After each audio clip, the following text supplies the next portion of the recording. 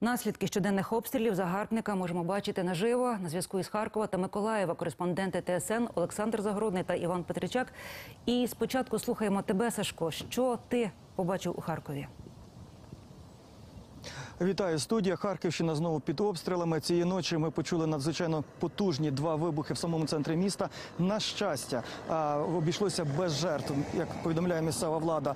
Тобто зруйновані будинки, але людських жертв немає. І очевидно, через те, що дуже багато харків'ян взагалі виїхало з міста, а особливо на ці дні. От ми зараз перебуваємо на найбільшій площі у Європі. Це площа Свободи. Тут завжди гуляють тисячі людей. Але сьогодні тут ви бачите дуже і дуже мало людей.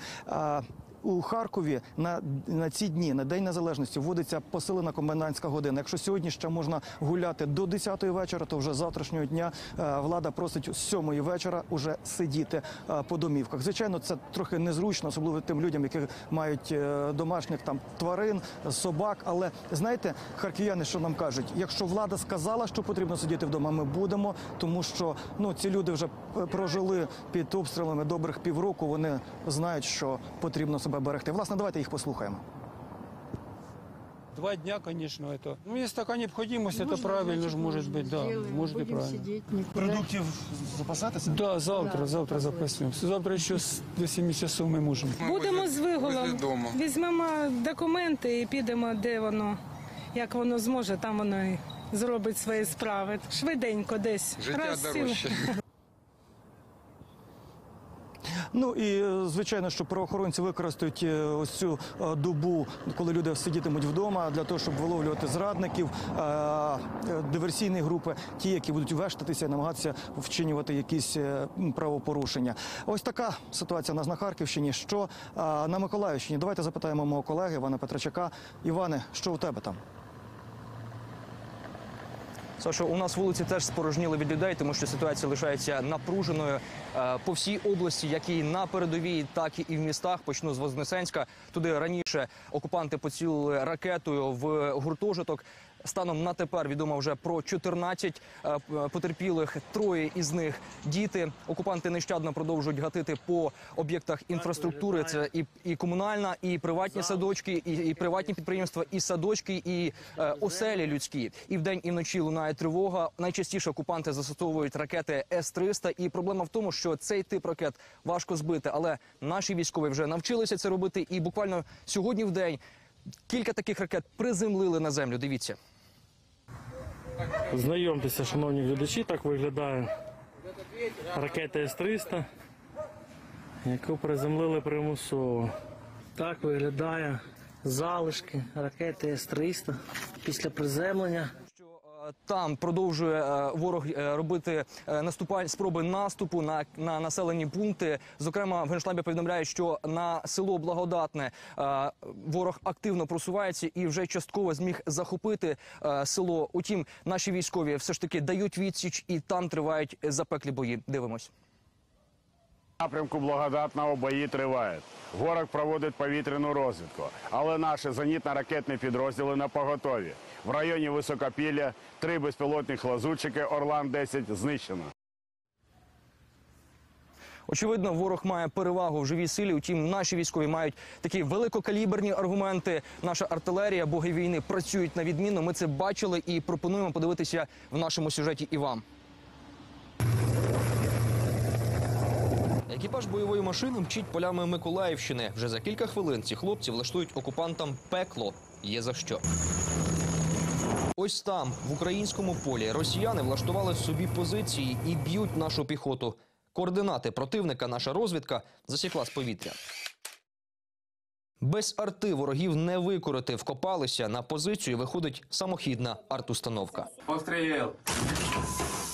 Кілька перших пристрілятися. 402. Кутумір! Далі кожен наступний в ціль. Постріл! Це горить російська техніка. По українцям вона вже не стрілятиме.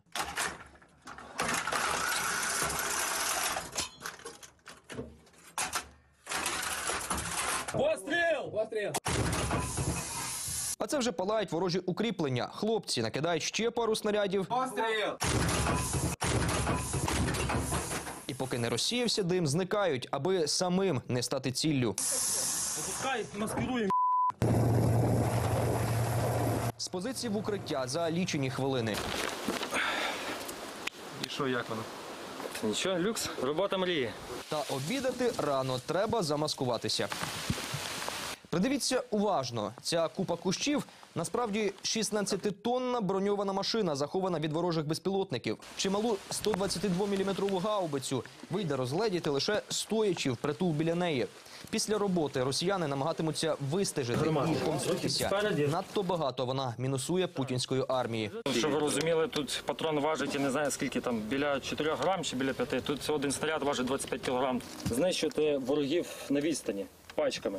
Все, оце пачками не знищить. Оце пачками нищить і не тільки е, живу силу, а й техніку, і бліндажі. Роман до повномасштабного вторгнення був будівельником, але війна каже, людей змінює швидко. За цей час він став навідником і вже не раз побував під обстрілами. До своїх днів народження дописав ще три. Перший наш виїзд був такий, що з нас стріляли зі всієї можливої техніки, яка на той момент була з їхньої сторони. Тобто і гради, і САУ працювали, і нони. Тобто, ну це війна. Тут треба розуміти, але ми для того і прийшли, щоб захищати. І то, що ну, ми готові до будь-яких ризиків. Серед екіпажу жодного професійного військового бусоліст, а простіше коригувальник вогню півроку тому виготовляв металопластикові вікна. 24-го я ще працював на заводі. Що робити? От напав ворог, що робити? Ну я сказав, як ви не знаєте, що робити, то ну, може вчить гімн Російської Федерації. Я йду завтра в військкомат. Механік водій за кермом. До війни працював кухарем. Так. Зараз теж готуєте, але трохи інші справи. Так. Ну, трохи орки фаршируємо. Навіть розвідник, очі артилерії, що вистежує ворога з повітря і коригує вогонь, раніше цивільний, продавав машини для вишивання. Насправді, ну я би не хотів нікого вбивати. Просто для нашої країни і для нашого ворога слово свобода має трошки різне значення. Ворог знищений, машина замаскована, екіпаж мотивований і готовий до нових завдань. І в сніг, і в спеку, ну і в дощ. Роботу робити треба. Хлопці нас бережуть. І техніка з такою роботою тут точно не заржавіє. З Миколаївщини Іван Петричак, Павло Бориско та Сергій Перфілов. ТСН 1+,1. Марафон. Єдині новини.